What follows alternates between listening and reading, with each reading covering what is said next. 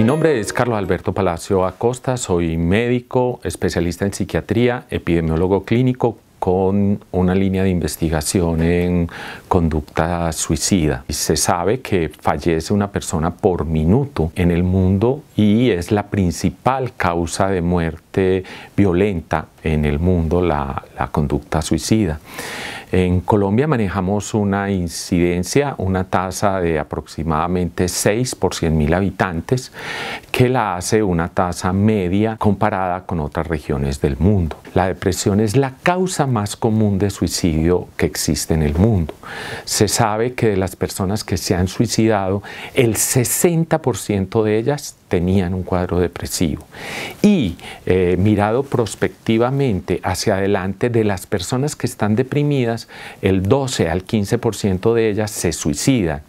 Eso hace que eh, la depresión sea uno de los factores, sino quizás el más importante, y por lo tanto se requiere un tratamiento, un diagnóstico eh, oportuno de la alteración para poder darle tratamiento adecuado y que pueda resolverse y no llegar a extremos tan severos como la conducta o el acto suicida. Sabemos que hay factores de orden biológico relacionados con esta conducta suicida, hay factores de orden psicológico y hay factores de orden social. Por lo tanto, hay algunas regiones del mundo y a nivel incluso regional conocemos algunas zonas de, la región en la cual hay una incidencia más alta que en otras partes. Pongo un ejemplo, el suroeste antioqueño es una zona donde hay una alta incidencia de conducta eh, suicida. ¿Qué es lo más importante para generar una muy buena campaña de prevención? Es poder atacar esos factores de riesgo que de una u otra manera uno los pueda impactar. Hay muchos. Sabemos que el suicidio es más frecuente en hombres que en mujeres, pero la conducta suicida es más frecuente en mujeres que en hombres. Eso se debe al método que utilizan para llevar a cabo la autoagresión. En hombres es más común el arma de fuego, mientras que en las mujeres es más común la intoxicación.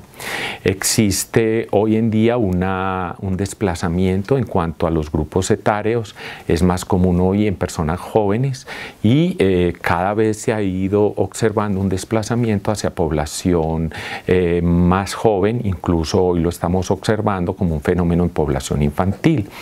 Eh, hay una asociación clara en cuanto al consumo de sustancias psicoactivas y adicional a esto son poblaciones que están teniendo eh, muy baja tolerancia a la frustración y muy baja capacidad adaptativa. Sabemos que las personas que eh, expresan que están teniendo ideación y que han ido organizando la forma como quieren llevar a cabo la autoagresión, tienen mayor riesgo.